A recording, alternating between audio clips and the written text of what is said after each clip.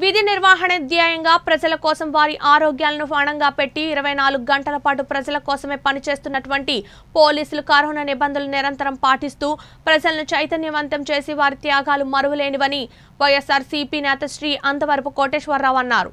రాష్ట్ర ఉప ముఖ్యమంత్రి మరియు గిరిజన శాఖ మంత్రి పుష్ప శ్రీవాణి జన్మదిన వేడుకలలో భాగంగా కేక్ కటింగ్ అనంతరం Elwinpeta circle inspector T V Tirupathi Rao మరియు Kurupam sub inspector D Ravi Kumar సమక్షంలో పోలీస్ సిబ్బందికి ముప్పై చలువ కళ్ళద్దాలతో పాటు మాస్క్ శానిటైజర్ బాటిళ్ళను స్వయంగా పోలీస్ స్టేషన్కు వెళ్ళి అందజేశారు. Uh,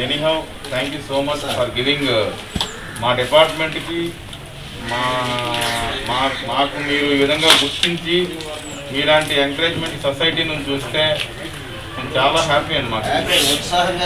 బూస్టప్ అనమాట. అవును. అంటే మా పట్ల ఒక మంచి భావన మీకు ఉంది అది credit goes to our SP Srimathi B Rajakumari madam ఎందుకంటే ఆమె కనుసన్నల్లో మేము పనిచేస్తున్నాం ఆమె తాలూకు హ్యుమానిటేరియన్ కొంతైనా మేము ఇవ్వగలుగుతున్నాం.